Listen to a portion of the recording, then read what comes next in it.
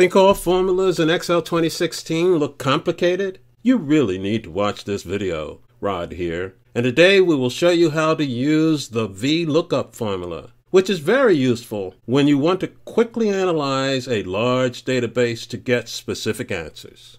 Imagine a situation where you need answers about the current status of a stock inventory before requisitioning more stock. Here's a piece of a large stock inventory in Table 1. There are three columns in this table, part number, supplier, and quantity. Using VLOOKUP formula, we will quickly analyze Table 1 and put the answers we want on the number of parts in stock in Table 2.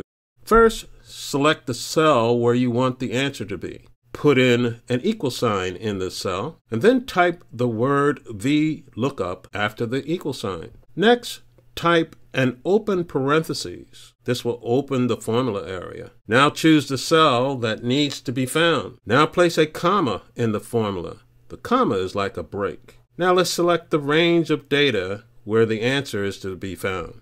And now press F4, which anchors the range and ensures the range stays the same. And place a comma in the formula Put the column number where the answer is to be found. In this case, it's column number 3. We want to know the quantity. Now place another comma, and finally place a zero or the word false in the formula to indicate an exact amount is required. Close the formula with a close parentheses and press enter. Note that the answer is 2. And if we look at table 1, we will scroll down and see on row 26 the exact model number we wanted to know about, and there are two in stock. Now, if you want answers in the rest of the lines for your stock models, place your pointer in the bottom right corner of the cell you're working with and then drag down. Excel automatically gives you the answers. There's one more thing to note. You'll see that on row 8, there's a similar model number, but it's not identical to the row in row 26. VLOOKUP will only type the one or report on the one that is exactly what is typed in the formula. Now let's show you the process again, but this time put new information on suppliers in Table 3. First select the cell where you want this new information to appear. Then put an equal sign in the cell and type in the word VLOOKUP after the equal sign. Next type in an open parentheses which opens the formula. Now choose a cell that needs to be found. Note the cell becomes part of the formula. Place a comma in the formula. Remember, a comma is a break. Select the range of data where the answer is to be found.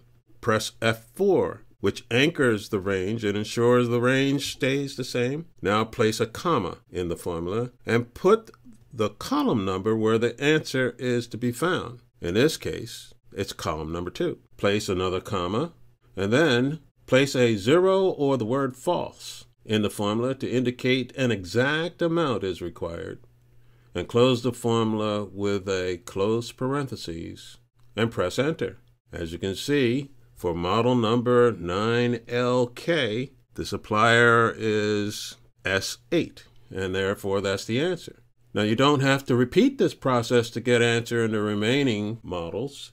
You just put your pointer in the bottom right corner and drag down. Excel gives you the answers automatically. Also remember that if the same item appears more than once in your inventory, VLOOKUP will only report on the first item. Now you know how quick and easy it is to use VLOOKUP in Excel. We want to know if you found this video helpful. Comment below and let us know. If you want personal coaching, click on our one-on-one coaching link.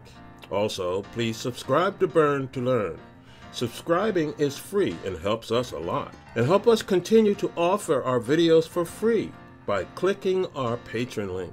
And be sure to watch our next video where we help you learn to use another Excel formula.